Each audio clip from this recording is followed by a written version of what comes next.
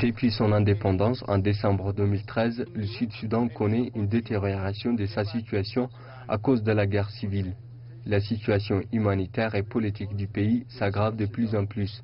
Selon les derniers rapports des Nations Unies, 2,4 millions de civils sud-soudanais ont été déracinés, 3 millions d'enfants souffrent d'insécurité alimentaire grave, plus d'un million de personnes souffrent de malnutrition aiguë et 2 millions d'enfants ne sont pas scolarisés.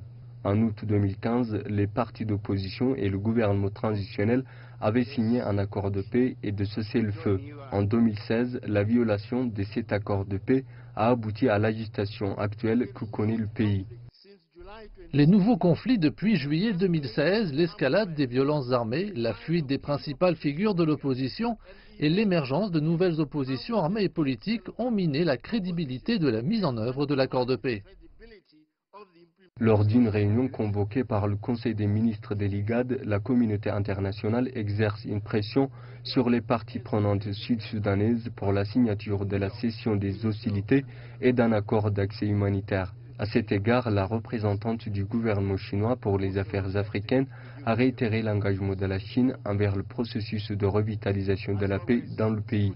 Nous, la Chine est toujours est un acteur très positif et un promoteur très ferme pour le processus de paix euh, du Sud-Soudan.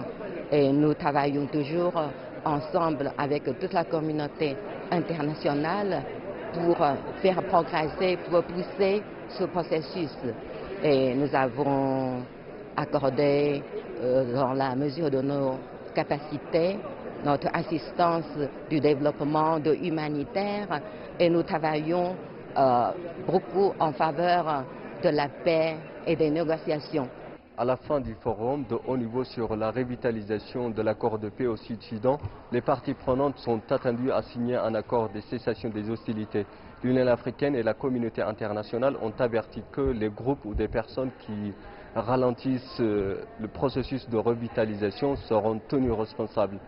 Reportage de Société français, siège de l'Union africaine, Addis Abeba, Éthiopie, Zenab